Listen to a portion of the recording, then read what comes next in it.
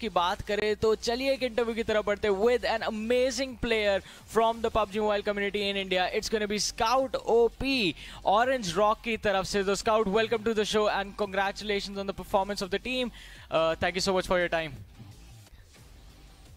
Hi guys, hello everyone. So scout my first question to you is किस तरीके का यहाँ पे परफॉर्मेंस आप uh, यहाँ पे जो सनॉक वाला जो मैच मत पूछो हम लोग हम लोग को पता नहीं हमने क्या किया है। भाई मत पूछो।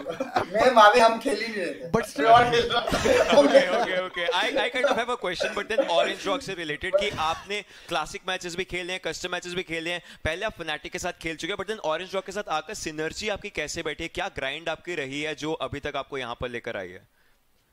देखो यार हम लोग का टीम बनी हुई तो एक वीक ही हुआ है एक वीक से भी कम हुआ है। हाँ। तो बस हम लोग जो जिसने जो सीख के आया आज तक बस वही खेले। सिनर्जी तो भी मतलब समझ लो कि हम लोग को पता नहीं एक दूसरे का प्ले स्टाइल बस खेल रहे हैं हम लोग। जो चल रहा है खेल रहे हैं हम लोग समझ लो कि नई चीज़ें ट्राई कर रहे हैं मैचेस में जितने भी तो ये शाइनॉक जो हुआ है कसम से हम लोग को लग रहा था कि किसी के दस किल हो गए किसी के आठ किल जो हम लोग स्कोर बोर्ड देखे हम लोग को शौक थे कि भाई क्या किया हमने? इतने नॉक करके कहा के लौंडे अरे। बिल्कुल वहाँ पे तो हम हम हमें हमें बिलीव भी नहीं हो गया हम डिनर लिए पहली बात। मतलब ऐसा होता मज़ा आता है। भाई चिकन डिनर निकला है। हमें लगा भाई और एक गेम बाकी है कंटिन्यू होगा क्या रैंक भाई नहीं भाई।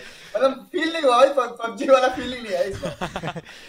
बट कोई नहीं, ये वाला मैच जिस तरीके बट आखिरी मैच में क्या ऑब्वियसली जो जिस तरीके से वन टू सेवन हम लोगों ने देखा कि गैप बहुत मिनिमल है। एंड वो मिनिमल गैप को एक अगर टॉप थ्री भी अगर आप एंड करते हो तो may be you can get a chance to be on the top like table top करने का चांस है लाइक अगर यहाँ पे अगर आप सीरियस हो बिकॉज़ सेमीफाइनल्स में आते आते आप जैसे बोल रहे हो, अभी एक हफ़्ते पहले टीम बनी बट एक स्टेटमेंट बन जाएगी, एक हफ़्ते में टीम बनी है but still you're on the table topper so किस तरीके का यहाँ पे माहौल रहेगा आपकी टीम का आखिरी मैच के लिए?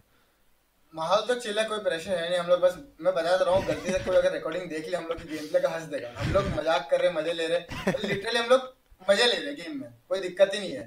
तो इतना तो है कि, इतना कॉन्फिडेंस है कि भाई हुक एंड फ्रुक हम लोग टॉप एट में तो निकाल लेंगे, बाकी सेमीज का अलग चीज़ है प्रेशर एकदम चिल है मावी तो है ही अपना आईजीएल अरे। चिल है ये काफ़ी सही चीज़ है। ये एक्चुअली एक यू नो पॉजिटिव वाइब दे रहा है टीम को भी कि आराम से चिल होकर खेलना विदाउट एनी प्रेशर एंड उस चीज़ के साथ साथ काफ़ी ऊपर जाना है। सो आई वुड से कि जिस तरीके से भी अभी निकाला है मे बी आखिरी गेम भी वही चीज़ उसी उसी यू नो पॉजिटिव वाइब के साथ प्रोबेबली वो भी एक अच्छा चिकन डिनर हो सकता है आपकी टीम के लिए। मे बी ऐसे तरीके से नहीं से तो लाइफ में एक डर था वो हो गया।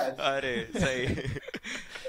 वेल रैंगल पे uh, उम्मीद तो यही रहेगी कि आपकी टीम जो है वो फ़र्स्ट पोजीशन वहाँ पे रीच कर पाए and good luck to you and your team और सेमीफाइनल्स पे भी आपकी पोजीशन जो है वहाँ पे ऑलमोस्ट सिक्योर हो चुके हैं, तो उस चीज़ के लिए भी good luck scout to you and orange rock all the best thank you so much guys thank you so much